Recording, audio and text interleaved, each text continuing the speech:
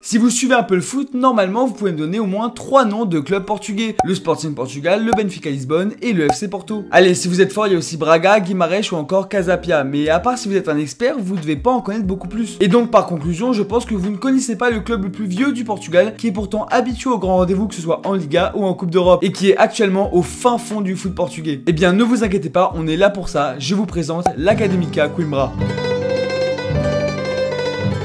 Pour commencer, un peu de contexte. Coimbra est la septième plus grande ville du Portugal en nombre de population avec 145 000 habitants. Géographiquement, la ville est pile entre Porto et Lisbonne et elle est connue pour avoir la plus vieille université d'Europe. Voilà, et oui, on apprend plein de choses dans cette vidéo, c'est incroyable. Et globalement, d'ailleurs, c'est vraiment une ville d'étudiants. Et ça, notez-le quelque part parce que ça va être très important pour la suite. Je suis vraiment dégoûté, les gars. J'ai mis exprès un mode Coimbra, on le voit même pas la vidéo. Bref, revenons au club. Il est créé en 1887, mais il est encore plus vieux que ça en fait. Et oui, parce que c'est une fusion entre deux clubs. L'Atlético de Coimbra créé en 1861 et l'Academica Dramatica créé en 1837. Alors évidemment, vous vous en doutez bien, 1837 c'était pas un club de foot à la base. Hein. Le plus vieux club de foot étant créé en 1857 en Angleterre. Mais globalement, vous l'aurez compris, l'Academica de Coimbra est le plus vieux club du Portugal et largement même. Et pendant longtemps, la particularité de cette équipe, c'est qu'elle est formée uniquement d'étudiants de Coimbra. D'ailleurs, c'est aussi la raison de pourquoi ils jouent en noir, c'est tout simplement la tenue des écoliers. Et dites-vous, cette règle de recruter que des étudiants de l'université de Coimbra, et eh bah ben, c'est pas qu'une règle du 19e siècle, c'est une règle qui va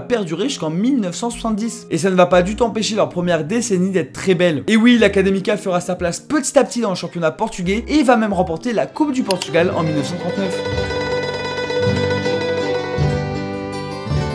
Dans les années 60, le club s'installe vraiment dans le paysage footballistique du Portugal. Ils joueront souvent les têtes d'affiche en championnat, finissant top 5, voire souvent top 3. ils vont même atteindre deux fois la finale de la Coupe du Portugal en 1967 et en 1969. Et ça peut paraître peu, mais je vous assure que c'est dans un championnat extrêmement relevé. Je rappelle juste qu'à l'époque, le Benfica Lisbonne venait de remporter deux fois d'affilée la Ligue des Champions, et que le Sporting Portugal venait de remporter la Coupe des Coupes en 1964. Mais ne vous inquiétez pas parce qu'en Europe, l'Académica n'est pas en reste. Si tout d'abord l'UFA refuse la participation du club pendant deux éditions, ils finissent par accepter et Coimbra jouera son premier match européen en 1968. Un match de Coupe UEFA qui est l'ancêtre de la Ligue Europa. Et ils vont jouer leur premier match face à l'Olympique lyonnais. Match aller-retour, hein, gagné d'abord par Lyon 1-0, puis par Coimbra 1-0 là aussi. Et malheureusement à l'époque, il n'y avait pas de prolongation, il n'y avait pas de tir au but. Ça se joue à pile ou face et Coimbra sera éliminé. Mais bon, c'est pas grave pour l'Académica parce que c'est juste une première expérience. Et l'année suivante, ils vont en Coupe des Coupes en C2 et ils iront jusqu'en quart de finale en se faisant éliminer par Manchester City. En 1970, tout semble très bien se pour le club, mais malheureusement, il va y avoir des complications. Et oui, malgré ses bonnes performances, l'Académica de Coimbra n'est que semi-professionnel. Et malheureusement, les meilleurs joueurs de l'équipe vont être séduits par le professionnalisme des autres équipes portugaises, et c'est comme ça que beaucoup de joueurs vont quitter Coimbra pour le Benfica Lisbonne, le Sporting ou Porto. Et au-delà de la perte de talent, si vous êtes bon en histoire, vous savez très bien ce que ça veut dire début des années 70 au Portugal. C'est la révolution. En 1974, la dictature tombe et je ne vais pas rentrer dans les détails, mais ça va être une période très compliquée et remplie d'incertitudes pour le foot portugais. Et Coimbra ne sera pas épargné connaissant plusieurs relégations en deuxième division. Mais mine de rien, l'Académica va être très active lors de cette révolution, et même avant étant une équipe formée que d'étudiants, et donc très anti-dictature. Comme par exemple lors de cette finale de Coupe du Portugal en 69 dont j'ai déjà parlé, où les joueurs sont rentrés avec leur tenue ouverte pour protester. Et ce sera pareil dans les tribunes avec des pancartes contre le système qui feront leur apparition.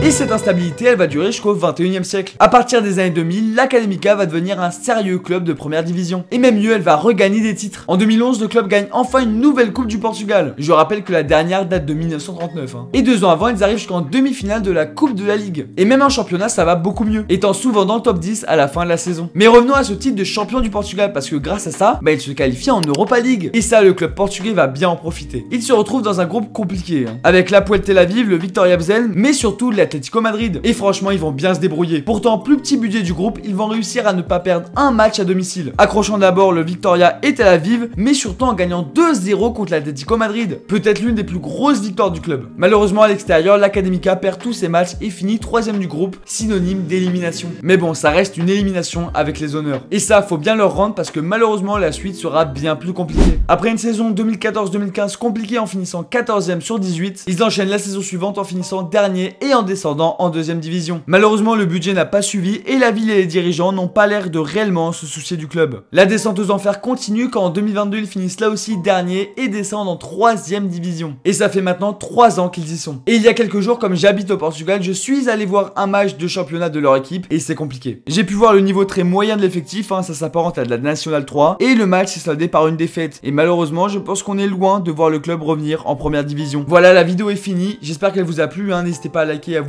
J'habite au Portugal pendant un an et j'habite juste à côté de Coimbra, cette superbe ville. La ville est grande et belle. Hein. Il y a un très très grand stade, un très beau stade et surtout il y a de très très grands ultras. Franchement, ils font énormément de bruit. Donc je ne comprenais pas pourquoi cette équipe n'était pas en première division. Et malheureusement, comme souvent dans le foot portugais, ça s'explique parce qu'ils n'ont pas de budget derrière les trois grands mastodontes que sont le Benfica Lisbonne, Porto et le Sporting, bah il n'y a pas beaucoup de place en fait. En tout cas, j'espère vraiment que la vidéo vous a plu, j'ai pris beaucoup de temps à la faire et j'ai adoré la faire, j'adore regarder des clubs qui ont eu un passé glorieux et qui malheureusement maintenant sont au plus bas. Donc si vous voulez que je fasse une vidéo sur un autre club, n'hésitez pas à me le dire. C'était Drex23, à toutes.